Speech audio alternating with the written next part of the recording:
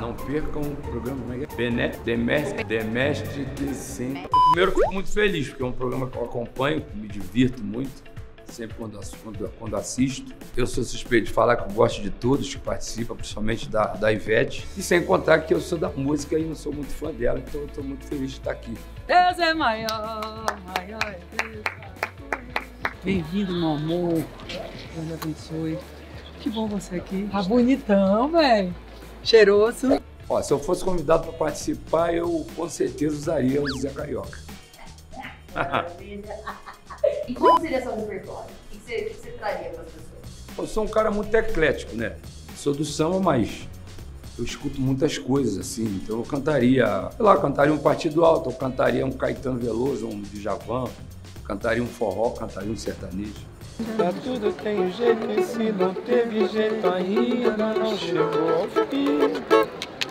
Pra tudo tem jeito e se não teve jeito ainda não chegou ao fim.